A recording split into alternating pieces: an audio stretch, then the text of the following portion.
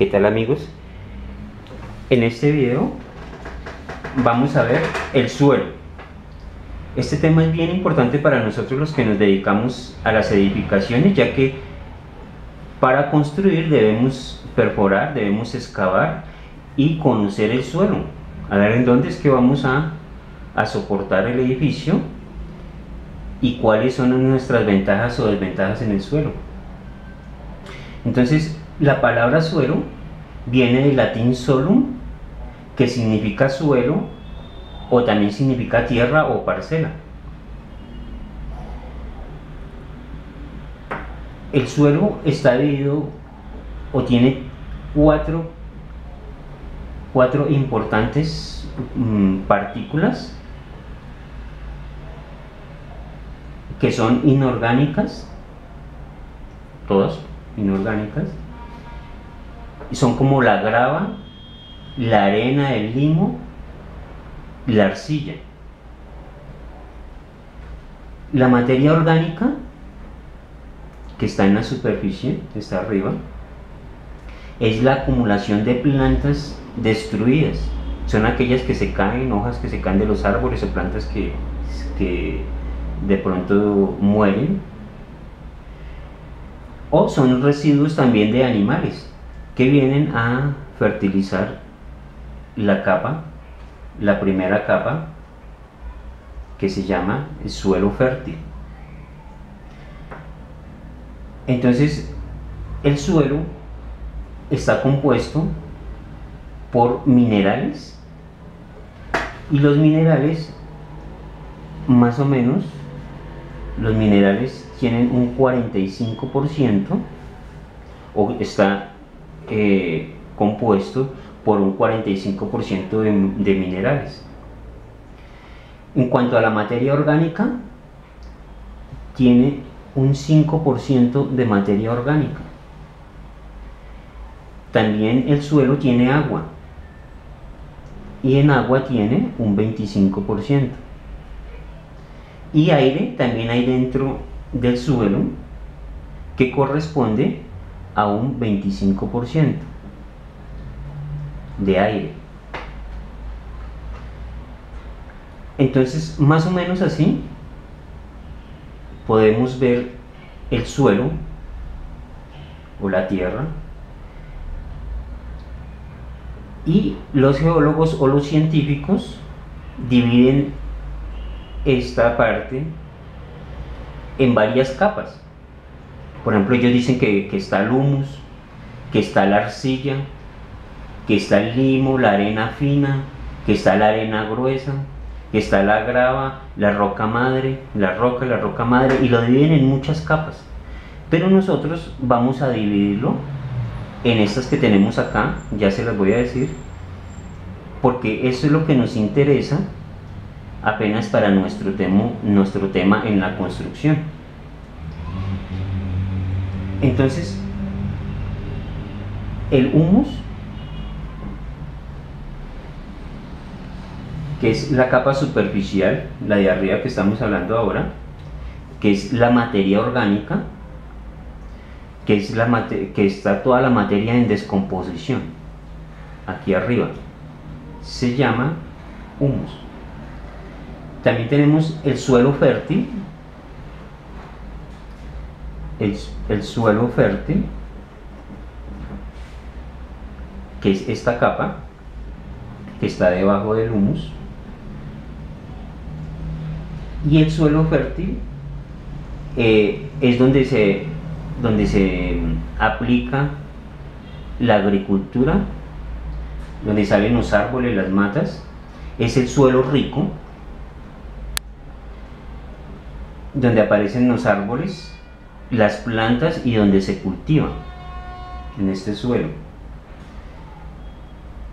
El otro es el suelo arcilloso, o sea, la arcilla. El suelo arcilloso. En este suelo, pues muy pocas plantas son las que se desarrollan. Es muy poquito lo que podemos sembrar ahí lo que, lo que existe. porque pues toda la capa es prácticamente arcilla. El otro suelo es la arena o suelo arenoso. En este suelo arenoso pues no hay, no hay plantas, no existen, no pueden existir plantas. Más que todo se encuentra en la playa, en los desiertos. Pero pues es muy difícil que se desarrolle una, una mata en esta capa. Tampoco existe el agua en este sitio, en esa capa. La otra capa es la capa de la, el suelo de piedra o roca que también la, podemos llamar roca madre porque aquí los, los geólogos y los científicos dividen en diferentes capas pero bueno esta capa es el suelo de roca Aquí no, podemos eh, eh, tener plantas, porque pues en una roca no se desarrolla una planta, no puede haber raíces, pero sí nos favorece en nuestras construcciones. Este es el mejor, la mejor capa que nos sostiene nuestra construcción, entonces podemos hacer nuestra cimentación que llegue hasta, hasta la roca, hasta la piedra.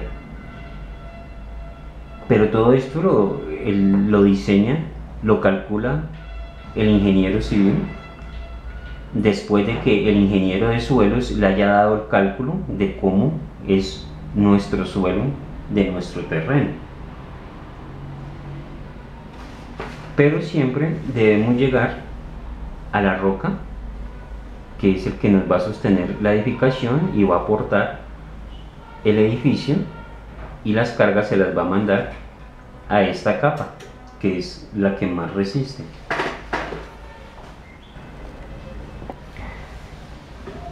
El suelo el suelo se compone de muchas partículas de diferentes tamaños de, y de diferente composición entonces su comportamiento depende de, de, las, de las características pero entonces para su clasificación recurrimos es al tamaño del grano, a la plasticidad y al contenido de la materia orgánica. Entonces aquí tenemos un cuadro de tipos de suelo. Está el nombre de la capa que ya vimos o el nombre del material y el diámetro que tenemos. Entonces, por ejemplo, la arcilla tenemos partículas menores de 0.02 milímetros. Esto nosotros no lo podemos observar en la obra o en el piso, en el suelo. No lo podemos observar a simple vista porque es muy pequeño. Lo mismo los limos entre 0.06 milímetros y 0.002 milímetros. También es demasiado pequeño. La arena ya la podemos ver un poquito, la podemos identificar que tiene entre 2 milímetros y 0.06 milímetros. La, la grava entre 60 milímetros, 60 milímetros son 6 centímetros y 2 milímetros. Esa es la grava. La, la piedra entre 60 milímetros y 200 milímetros, o sea, entre 6 centímetros y 220 centímetros. Los bloques, ya es piedra grande, son mayores de 200 milímetros, o sea, mayores de 20 centímetros. Entonces, como les decía antes, es fácil identificar de pronto de acá a acá la arena, la grava, la piedra y los bloques. Pero lo que es la arcilla y los limos es muy difícil identificarlos a simple vista.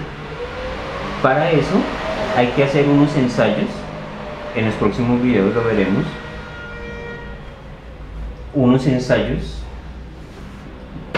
para poder identificar qué material es. Uno se llama ensayo de agitación, el otro ensayo de consistencia. Y hay otro que es ensayo de resistencia. Y de acuerdo a eso, lograremos identificar qué material es.